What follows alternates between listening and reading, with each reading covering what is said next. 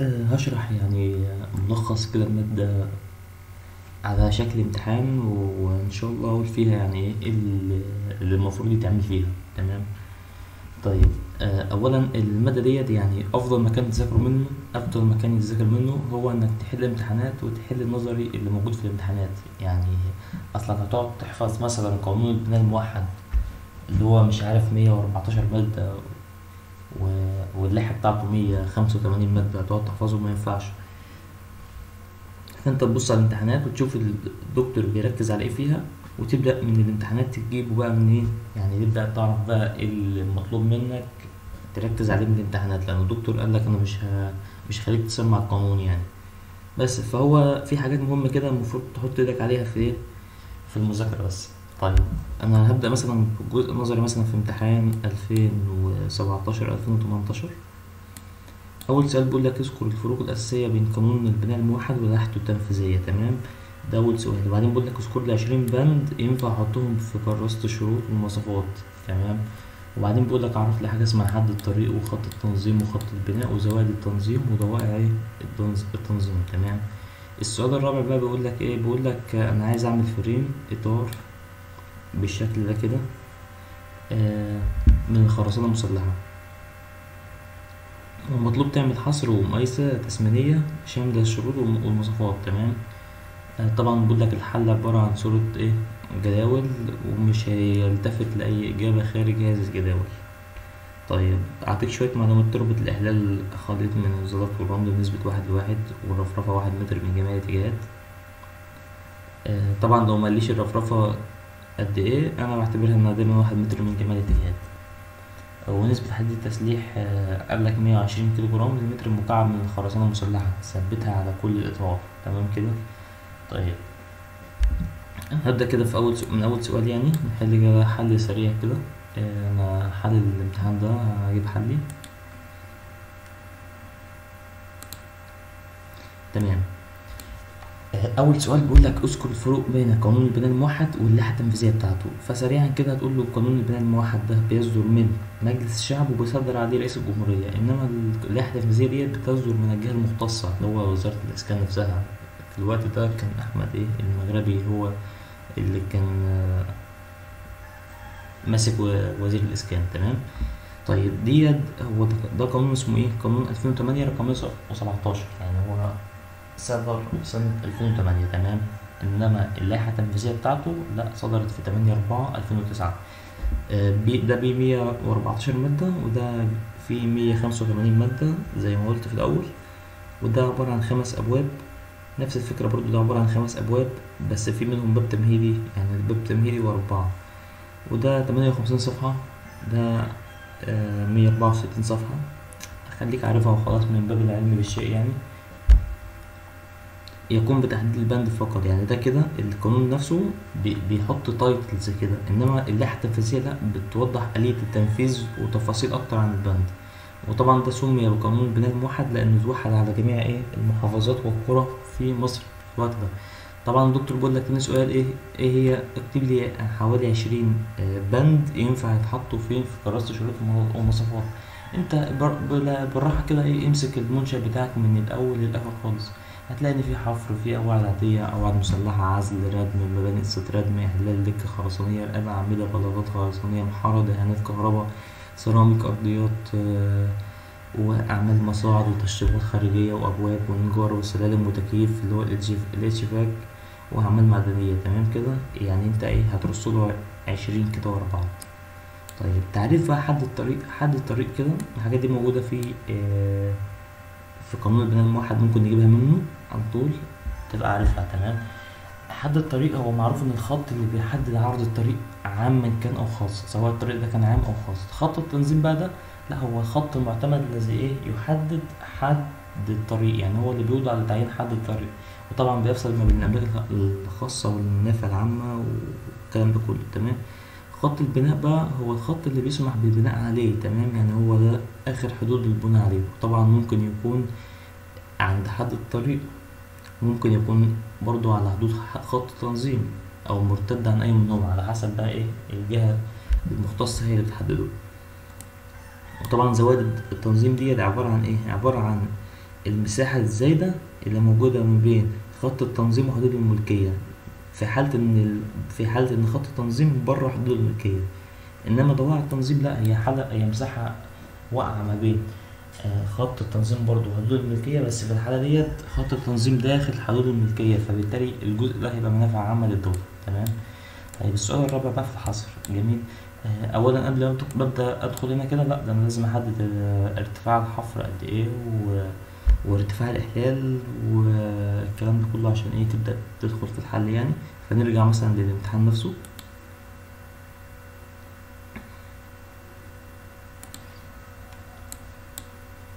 الامتحان اولا آه، الحفر الحفر واضح كده من آه، الشكل كده إن ارتفاعه 3 متر. يعني لو حبينا نرسم.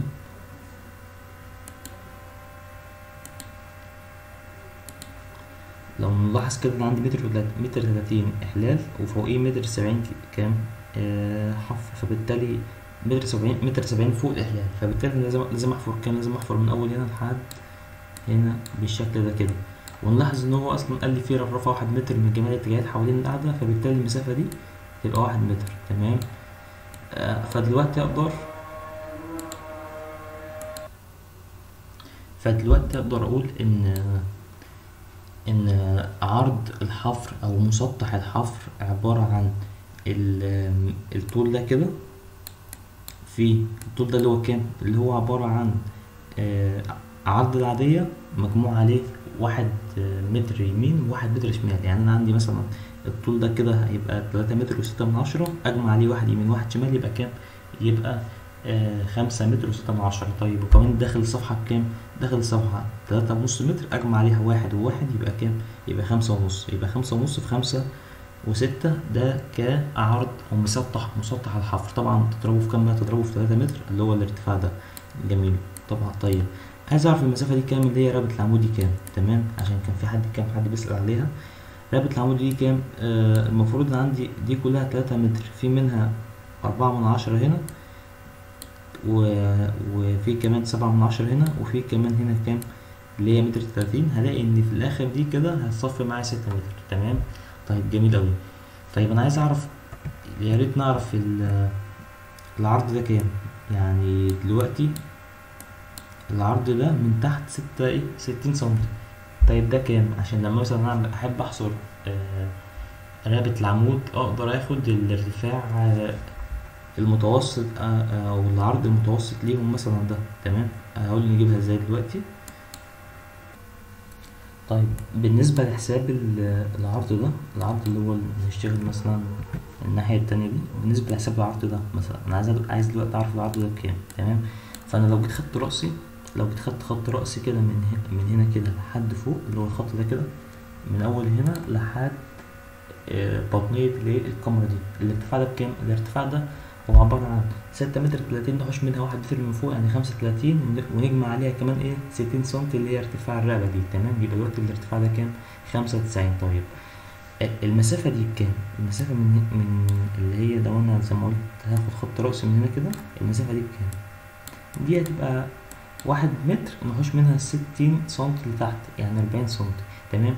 طيب يبقى أنا أقدر أقول إيه؟ أقدر أقول إن الخمسة وتسعين بتديني مسافة جانبية كده أربعين سنتي يبقى الخم... يبقى ستين سنتي تديني مسافة جانبية كام؟ تعمل مقص لو عملت مقص هنا قلت ال X ده تبقى كام؟ ال X ده تبقى ستة من عشرة في أربعة من عشرة على خمسة وتسعين لما تضرب ستة من عشرة في أربعة من عشرة على خمسة وتسعين تديك الإكس دي بكام؟ بأربعة من مية.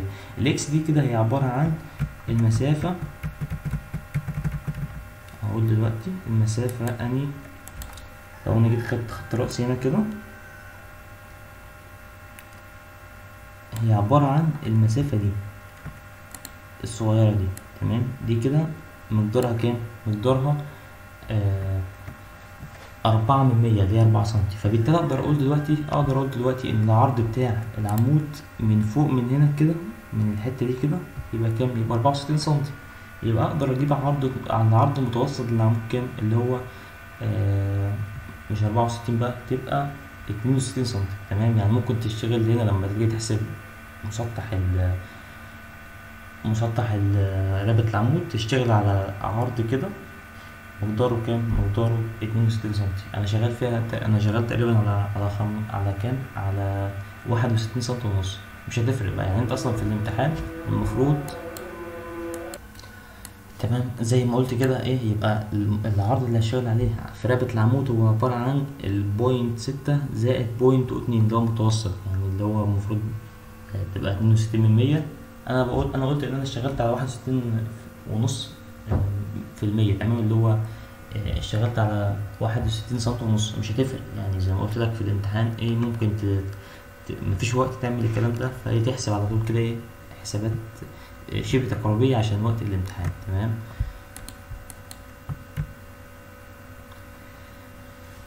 طيب نرجع للحل. بس فدلوقتي كده زي ما قلت إن أنا عندي آه لما اعمل الحصر مثلا دايما دايما شكل الجدول بتاع الحصر بالشكل ده اللي هو رقم البند بيان أعمال الوحدة الكمية المقاسات طول عرض ارتفاع المسطحات أو الحجوم آه، الجزئية اللي هو ال- الجزئيات بتاعتي وبعدين تنزيلات واجمالي طيب نيجي نمسك مثلا أعمال الحفر أول حاجة حفر حفر اللزوم قواعد فأنا عندي كام قاعدة؟ الكمية عندي اتنين واحدة يمين واحدة شمال. الطول والعرض كام؟ زي ما قلت قبل كده خمسة وستة وخمسة ونص اللي هي كانت عبارة عن عرض العادية. آه، مجموع عليها اتنين متر وبرده هنا برده إيه sorry طول العادية مجموع عليها اتنين متر وعرض العادية مجموع عليها اتنين متر والارتفاع بتاع الحفر كام؟ تلاتة متر. تضرب اتنين في خمسة وستة في خمسة وخمسة في تلاتة يديك الايه الجزئية اللي هو تمنتاشر آه، sorry مية أربعة وتمانين وتمانية آه، يبقى دلوقتي وطبعا مفيش تنزيلات مش هطرح حاجة. يبقى دلوقتي كده لما أجمع هنا كده رأسي هيديني كام؟ 184 اللي هو الإجمالي يعتبر هنا كده. ولو في تنزيلات هطرح. أقول تا- أقول الرقم ده ناقص التنزيلات يديني الرقم ده. طبعا إيه؟ الإجمالي دلوقتي 184 8 طيب الإحلال زي ما قلت قبل كده الإحلال بنفس المسطح بتاع الحفر ده بس الارتفاع بتاعه كان عاطيني كام؟ متر 30 أقدر أضرب ده في ده في ده في ده يديني الرقم ده 80 و8 تبقى في الإجمالي برضه. طيب أعمال الخرسانة عادية. كان برضو عندي قعدتين عادية قعدتين خرسانة عادية. تلاتة ستة في تلاتة ونص في أربعة من عشرة. هو عاطيني ال dimension ديت في الامتحان. أهي. قايل كده العرض بتاع العادية. طولها تلاتة متر ستين في تلاتة متر ونص في ارتفاع كام؟ أربعين سنتي. تمام؟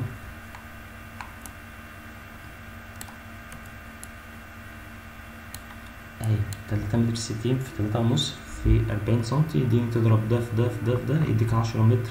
وتمانية من مية متر مكعب يعني جميل. طيب أعمال الخرسانة المسلحة؟ تحط الدايمنشن بتاع المسلحة. عندي اتنين منها وعندي الأبعاد بتاعتها. ميتين تمانين في ميتين خمسة وأربعين في ارتفاع سبعين سنتي. تضربهم في بعضهم يديك تسعة متر مكعب وستة من عشرة. أعمال الخرسانة المسلحة. بتاع رقابة الأعمدة زي ما قلت قبل كده آه إن أنا عندي رقبتين يبقى اتنين.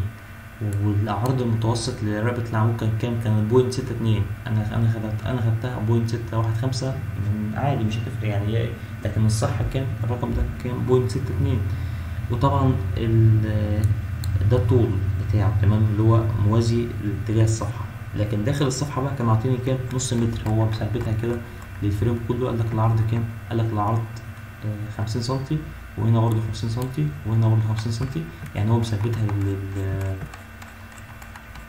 السؤال العرض كله كام؟ خمسين سنتي جميل. طبعا الارتفاع بتاع العمود بتاع رقبة العمود في الجزء ده كان ستين سنتي فأضرب ده في ده في ده في ده هيديني الرقم ده اللي هو بوينت تلاتة تلاتة ستة تسعة. تمام. أعمال الخرسانة المسلحة آه للأعمدة بقى الأعمدة. طبعا عندي عمودين. تمام. طيب.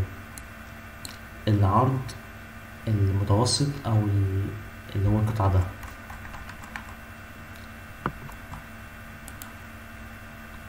أنا خدت العرض ده اشتغل عليه. مش هشتغل أنا على واحد متر ولا هشتغل مثلا على ستين سنتي. عندي مش ستين بقى على point ستة كام؟ point ستة ستة أربعة. يعني أنا عندي هنا point ستة أربعة وعندي هنا واحد. الإجماع المفروض المتوسط هو الرقم اللي هو هنا ده. أنا اشتغلت على الرقم ده اللي هو المفروض يطلع معاك كام؟ يطلع معاك point آه ستة أربعة زائد واحد على اتنين. يطلع معاك كام؟ point تمانية اتنين. point تمانية اتنين. تمام؟ طيب أنا شوف أنا اشتغلت كام. أنا اشتغلت point تمانية واحد خمسة. عشان أنا قلت إن كان في خمسة سنتي كده إيه في خمسة ملي sorry راحت كده هباء مش عارف راحت فين. تمام؟ آه، بس والعرض خم... خمسين سنتي والارتفاع خمسة وتلاتين اللي هي كانت ستة وتلاتين نخش منها كام؟ واحد متر فوق خالص بتاع الكمرة. دايما آه، بالنسبة للحصر في معلومة كده.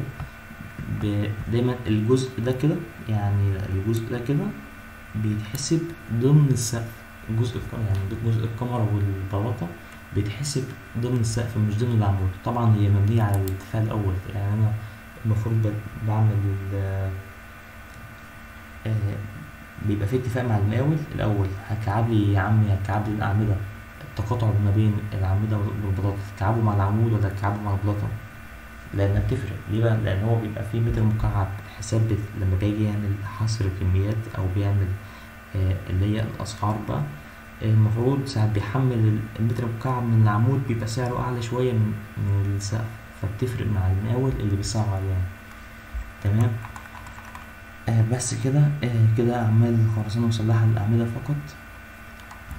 هتضرب ده في ده في ده في ده هيجيب الرقم ده أربعة متر وتلاتة من عشرة. تمام؟ طيب أعمال خرسانة مسلحة لزوم كاميرات. أنا عندي كاميرا واحدة بس طولها اتناشر سبعين كان جيفن طول الكاميرا كان اتناشر سبعين اللي هو من الأول لحد الآخر خالص كده آه و والعرض داخل الصفحة كان كام؟ ست خمسة من عشرة وطبعا الارتفاع بتاعها كان كام؟ اللي هو الرأسي كان واحد متر والداخل الصفحة كان نص متر والطول بتاعها كان اتناشر سبعين وارتفاعها كان كام؟ كان واحد آه سوري الواحد ده هو كاميرا واحدة بس وده الطول بتاعها وده العرض داخل الصفحة وده الارتفاع اللي هو متر تضرب كلهم في بعض كده يديك ستة متر مكعب وشوية.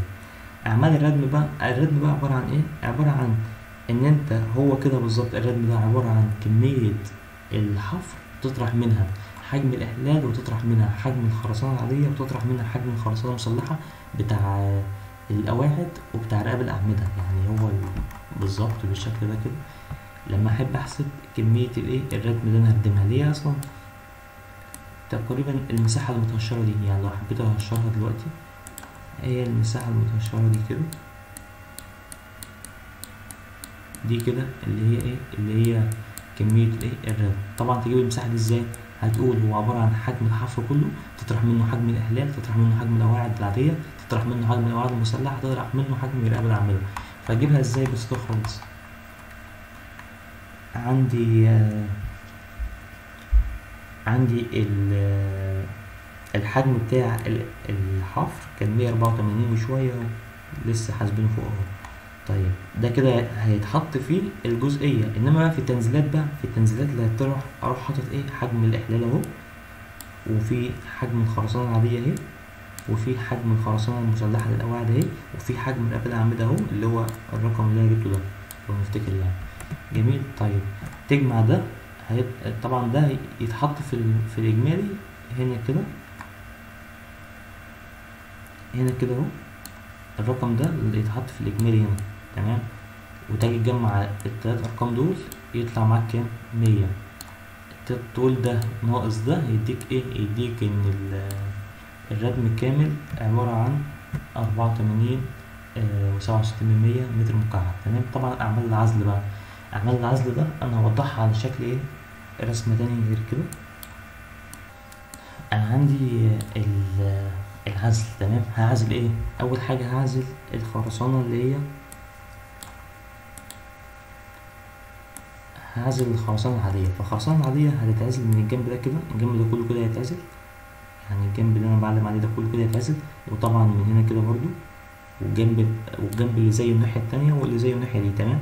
والوش ده كده تمام طيب الوش ده كده المساحات دي احسبها إزاي؟ المفروض أحسب المساحة دي والمساحة دي اللي هو الجانبية والسطحية بس السطحية هطرح منها إيه؟ اطرح منها مساحة المسلحة تمام طب طيب أنا عندي مساحة الجوانب عبارة عن إيه؟ الطول ده تلاتة متر ونص والطول ده تلاتة متر وستة فهتقول إيه؟ هتقول إن مساحة آه، الجوانب الارتفاع كام؟ هتضرب الارتفاع في المحيط الارتفاع هتضربه في المحيط يبقى الارتفاع أربعين سنتي يضربه في المحيط اللي هو تلاتة متر ونص تلاتة متر ونص تلاتة ستين تلاتة ستين هيديك في الآخر خمسة متر مسطح وستة من عشرة أو تمانية وستين من مية طيب آه،. طيب بالنسبة بقى للجزء ده الجزء اللي هو ده كده اللي هو السطح ده كده هتجيبه إزاي؟ قول المساحة كلها تلاتة متر وستة في تلاتة ونص نطرح منها إيه؟ مساحة المسلحة هيطلع معاك خمسة متر كام؟ أربعة وسبعين طيب يبقى المسطح إجمالي المسطح العزل كام؟ تجمع ده زائد ده أو عبارة عن 11 42 للقواعد العادية بس. طبعا ده كمان ل- لقعدة واحدة منهم يبقى القعدتين كام تضرب الرقم ده في اتنين. جميل طيب يبقى بالتالي بالتالي أول حاجة هنا الرقم ده زي ما قلت يطلع معاك كام؟ 11 42 للخرسانة العادية وفي منه اتنين يبقى كام؟ يبقى 22 84 طيب بالنسبة للخرسانة المسلحة نفس الفكرة. الخرسانة المسلحة لما أجي لما أجي أعزل الخرسانة المسلحة هعزل برضو الجنب ده كده والجنب ده برضو والجنب اللي زيه الناحية التانية والناحية التانية والسطح ده كده. السطح ده كده هعزله بس مطروح منه كام؟ مطروح منه مساحة العمود تمام؟ فالمسطح ده عبارة عن إيه؟ عبارة عن عبارة عن الايه نيجي نوضح كده. عبارة عن السبعين سنتي في إيه في المحيط اللي هو مترين خمسة وأربعين ومترين خمسة وأربعين مترين تمانين مترين تمانين. يطلع معايا سبعة متر مربع وشوية طيب ومساحة السطح بقى هو عبارة عن مساحة المسلحة مفيش منها مساحة العمود. العمود أبعاده ستين سنتي في خمسين سنتي. هتطلع معانا كام؟ ستة متر وشوية مسطح. نجمع الاتنين يديني مساحة العزل للقعدة الواحدة هي عبارة عن تلاتاشر متر مربع. تمام يبقى لو ضربت في اتنين عشان عندي قبلتين يطلع معايا كام؟ سبعة وعشرين وشوية. يبقى ده بالنسبة آه، ده بالنسبة للرقم ده تمام؟ طيب بالنسبة للرقم التالت ده اللي هو بتاع رقاب الأعمدة نفس الفكرة. الموضوع يعني إيه؟ أرقام بس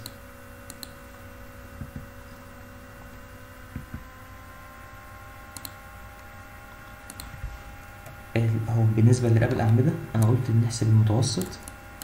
لرقبة العمود ارتفاعها كان ستين سنتي وعرضها من تحت كان ستة من عشرة ومن فوق كان ستة أربعة point ستة أربعة يبقى المتوسط point ستة اتنين. مش هتفرق بقى point ستة اتنين و point ستة واحد خمسة يعني طيب عشان أحسب ال- اللي هيتعزل طبعا هو عبارة عن المسطح الداخلي الجانبي ده بكام؟ هتضرب المحيط بتاعه في الارتفاع. المحيط point ستة واحد خمسة زائد point ستة واحد خمسة زائد النص زائد النص اللي هو المتوسط ده كده.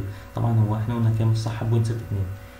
بس تضربها في ستين سنتي الارتفاع تجيب المسطح بتاع ال- العزل متر وشوية تمام؟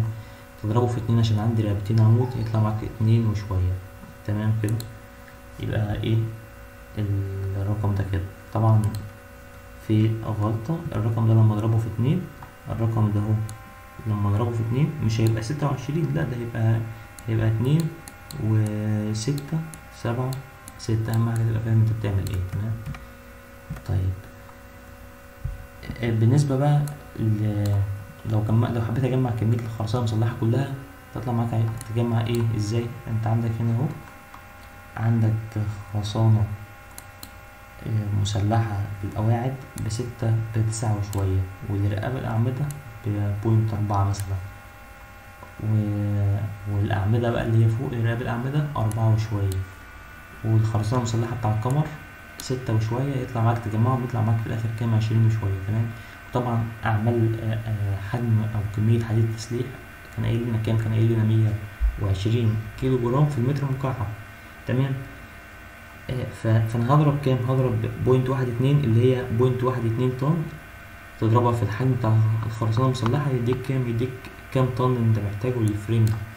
بس ده كده بالنسبة ل آه، للي هو الحصر. جميل. طيب هو طالب تعمل مقايسة تسمينية. المقايسة التسمينية بتبقى إيه؟ شكلها ثابت. رقم البند بيان الأعمال الوحدة الكمية الفئة بالجنيه الإجمالي طبعا قايل لك اعمل المقايسة التسمينية واكتب فيها إيه؟ شوية شروط ومواصفات للبند. لكن دايما دايما المقايسة التسمينية بنفصلها عن كراسة الشروط والمواصفات. يعني دايما في حاجة اسمها مقايسة وفي حاجة اسمها كراسة الشروط والمواصفات. آه، كراسة الشروط والمواصفات بقى تكتب فيها بص بقى تكتب فيها براحتك. تكتب فيها كتاب كده كبير كتاب كبير. تكتب مثلا لكل بند تقعد تكتب فيه شروطه ومواصفاته وهيتنفذ هيتنفذ إزاي والكلام ده كله. فطبعا يعني مستحيل آه، تعمل ده في الامتحان لو تعمل له كراسة شروط ومواصفات. فهو دايما إيه آه، الطبيعي إنك بتكتب بتكتب شوية مواصفات للبند بتاعك آه، داخل المقايسة تمام؟ فقلنا المقايسة التسمينية هي عبارة عن كمية وأسعار. فأنا قلت جاي هيبقى أعمال الحفر قلت بالمتر شوية وصف ليها بالمتر مكعب حفر في جميع أنواع الطرق اللزوم أعمال الأساسات والفئة تشمل توريد المعدات والعمالة ونقل المخلفات الناتجة من الحفر إلى المقالب العمومية ويجب أن يتم العمل طبقا لتعليمات المهندس المشرف والرسومات والكلام ده كله. يعني شوية إيه تعريف بالبند تمام؟ الكمية أنا حسبتها طلعت مية أربعة وتمانين وسعر المتر المكعب حفر تقريبي خمسة وتلاتين جنيه. يبقى تضرب ده في ده تديك الإيه الإجمالي بجنيه. وكذلك أعمال الأحمال أعمال الإحلال برضو تكتب ليها شوية مواصفات وتضرب كام في في سعر المتر المكعب من تربة الإحلال ميتين وخمسين. ليه ليه غالية شوية؟ لأن فيها اختبارات وفيها نوع تربة معين مش مش تربة طينية ولا أي حاجة لأ ده رمل وزلط بنسبة واحد لواحد وبيتعمل كل على طبقات كل خمسة وعشرين سنتي وبيدمج وفي اختبارات وموال كبير كده تمام؟ وأعمال الردم برضه نفس الفكرة. أعمال الردم برضه بيبقى فيها اشتراطات آه، من رمل من تربة معينة رمل أو زلط بنسبة وهكذا وبتتعمل كل عشرين سنتي وبتدمج برضه تمام؟ تجيب الكمية تضرب في السعر وأعمال الخرسانة العادية سعر المتر مكعب فيها تقريبا مية سبعمية وخمسين طبعا بتكتب ده شوية مواصفات والكلام ده كده. آه، العزل آه، سوري دي الأعمال أعمال الخرسانة المسلحة طبعا سعر المتر المكعب خرسانة مسلحة تقريبي ألفين وسبعمية ألفين وسبعمية جنيه. تضربها في الكمية يديك إيه؟ يديك آه، أنت محتاج الخرسانة المسلحة قد إيه في. في الأساسات. طيب بالنسبة لباقي الهيكل الخرساني هتبقى تضرب برضه في السعر برضه تمام؟ وعمل العزل تقريبي المتر المسطح فيها بيحتاج ألف بيحتاج مية وتسعين جنيه تمام؟ بس ده الامتحان هو يا ريت يكون الدنيا ظبطت كده. وأهم حاجة الغرض من الامتحان ده مش إن أنا أحل ولا أرقام. الغرض من الامتحان ده إن أنت يعني تعرف تذاكر منين وتمشي إزاي بس في المادة. المادة سهلة آه، زي ما قلت لك وما ينفعش تحفظ قانون البيان الموحد 114 مادة. لا ده أنت تشوف إيه اللي مطلوب في الامتحان وتعمل زيه. تمام كده؟ يعني مثلا مثلا على سبيل المثال في امتحان تاني هو أعطيك شوية أكمل في الأول كده. هو الخط المعتمد اللي بيقول على تعيين حد الطريق إحنا قلنا إن هو كان خط التنظيم.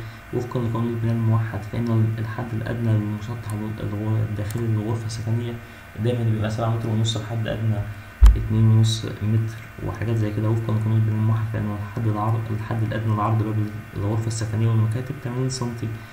ولازم الهندسة تعرفه والكلام ده كده. يعني عايزك إيه مثلا؟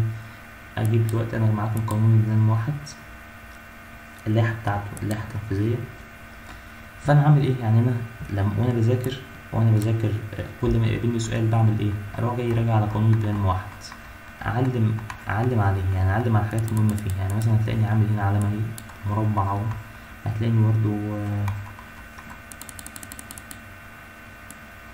هتلاقيني برضو عامل أكتر من يعني مثلا كل حاجة كل حاجة بتواجه في الامتحان بعمل عليها كده علامة بحيث لما أجي بعد كده حبيت أراجع مثلا قبل الامتحان بساعة كده ولا حاجة حبيت ألم الدنيا يكون معايا ملف بي اف زي ده كده الف فيه أجيب فيه الحاجات اللي أنا إيه محتاجها. يعني مثلا آه أنا معلم عليه هنا أهو بيقول لك الحد الأدنى للمسطح آه داخلي الغرفة السكنية بيقول لك سبعة متر ونص أهو بحد أدنى اتنين ونص متر لبعد منهم ودرجة المية تمانين وحد تمانين متر مسطح بحد أدنى تمانية تمانين سنتي. والمطابق تلاتة متر بحد أدنى متر ونص وهكذا يعني أنت فاهم؟ دي حاجة مثال يعني تمام؟ في برضه حاجات تانية معلم عليها. آه، الأبواب بقول لك ال- الغرف السكنية والمكاتب تمانين سنتي. الحمامات والمطابخ سبعين. المحلات التجارية متر.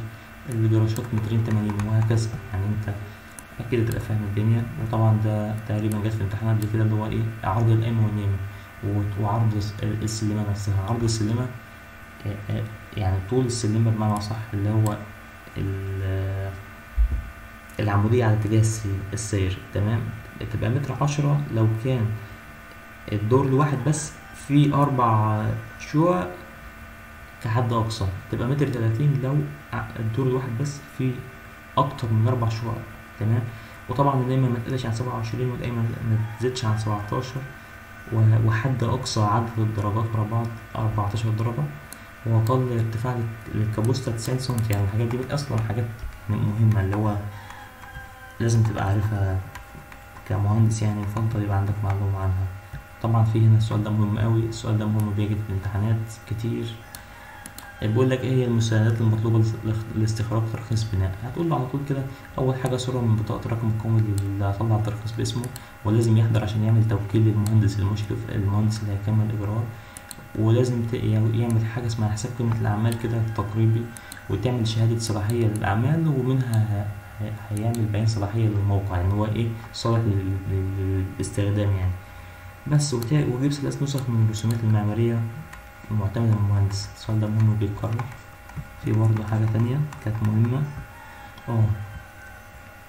آه، بيقول لك إيه بقى؟ بيقول لك آه، الم- المالك اللي هي اللي هينفذ أو المالك اللي عايز يشتغل في شغل معين. تكلفة الشغل ده أو قيمة الأعمال دي تعدي تلتمية وخمسين ألف جنيه لازم لازم يقدم صورة من عقد المقاولة في دمغة الاتحاد المصري لمقاولي لمقاولي التشييد والبناء تمام؟ الكلام ده لو قيمة الأعمال زادت عن إيه؟ 350 ألف جنيه. السؤال ده بيجي في أكمل كتير. في برضه سؤال تاني. آه بيقول لك آه، لما باجي أرخص أعمال الأعمال عندي بتترخص بتتقسم جزئين. أعمال فيها ألف اللي هي جميع الأعمال وفيها ب اللي هي المباني السكنية. الارتفاع على ارضيه اعلى طابق فيها ما يزيدش عن كام؟ عن 34 متر. والمباني الاداريه أو التجاريه لا يزيد ارتفاع ارضيه أعلى طابق فيها عن 22 متر دول كده فئتين. تمام؟ ففي سؤال بقى مهم بيقول لك إيه؟ بيقول لك إيه هي؟ اشتراطات المهندسين ومتطلبات المكاتب الهندسية لاستخراج الترخيص. هتقول له لو أنا هشتغل في أعمال الفئه ألف أنا محتاج إيه؟ ثلاث مهندسين. مهندس معماري نقابي خبرته ما تقلش عن 10 سنين. مهندس مدني خبرته لا تقل عن 10 سنوات برضه برضه نقابي ومهندس نقابة تانية تخصص أعمال كهروميكانيكية تمام؟ بالنسبة بقى لو لو فئة ب لا لو لو فئة ب أنا محتاج مهندس نقابي سواء معماري أو مدني له سجل هندسي وخلاص في مجال الهندسة تمام؟ في كمان حاجة آه في السؤال ده يتكرر برضو في الامتحانات في حال وجود مخالفات آه على مهندس الجهة الإدارية. يعني لو مهندس الجهة الإدارية معدي مثلا في الشارع صدفة ليه حد بيبني أو حد بيعمل حاجة مخالفة فالمفروض في شوية إجراءات كده لازم يعملهم. أول حاجة هيعمل تنبيه كتابة كده بالمخالف بالأعمال المخالفة ويديله مهلة مثلا في غضون 15 يوم يكون مصلحة. نفترض مثلا بعد 15 يوم بعد انتهاء المهلة الراجل ما عملش حاجة فالراجل يعمل إيه قرار ايقاف أعمال إن هو مش هيشتغل تاني فيه مش هيستكمل أعمال تاني وعامل له محضر مخالفة ومحضر عدم تنفيذ قرار تصحيح الاعمال ما هو مرضيش ينفذ الأعمال فعامل له إيه؟ محضر عدم تنفيذ الأعمال. ومحضر استئناف أعمال لو اشتغل وكمل تاني. تمام؟ وطبعا قرار بقى إزالة أو أو تصحيح الاعمال بتاعته. وأسيب لافتة إن هو مخالف يعني وأعمل إعلان يعني وحاجات إيه؟ وإبلاغ رئيس الجهة الإدارية ده لو إيه؟ لو في عقوبات والكلام ده كله كده. تمام؟ بس تقريبا هو ده كده آه، كل حاجة تقريبا أو معظم النظري المهم يعني. بس السلام عليكم ورحمة الله وبركاته.